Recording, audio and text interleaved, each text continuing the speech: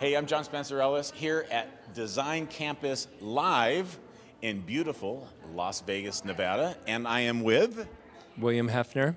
And uh, William is uh, one of our tremendous speakers here at Design Campus Live. What, how would you describe the topic that you spoke on today? So, I, I spoke about my own work, but in a way that I covered covered it for the point of view that would be interesting to an interior designer or an architect. So, I really talked about sort of my philosophy, and I showed a lot of sketches and process here because I thought that would be interesting to the group. So, how how do you think your process may differ from other designers?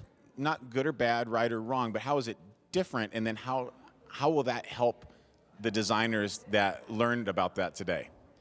Well, I think what what I the way I work and what I proposed was really for them to think about the whole picture in terms of the interiors, the landscape, and the architecture, and the, the necessity to plan early for the furniture and the seating and the outlooks from the, from the house so that all that could happen.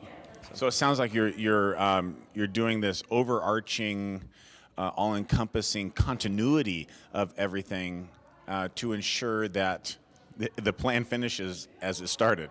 Correct. And it really helps to, I, I find, especially in areas where outdoor living is important, to really do the landscape in conjunction with the architecture and interior design. So things flow, you create views where you need them, and it all works. So, what do you think one of the biggest takeaway messages uh, was and are for the people who just heard you on stage? What, what was the one thing that you felt like they got and that was really important to you to convey?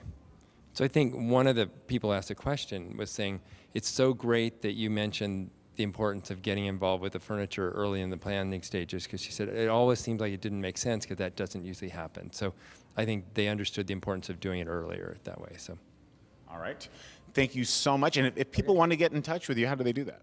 Um, my, uh, my website is williamhefner.com with one F. And um, we're, we're there. I have a website and email and that. So I'd like right. to talk to people. Thank you. All right. Thank you very much.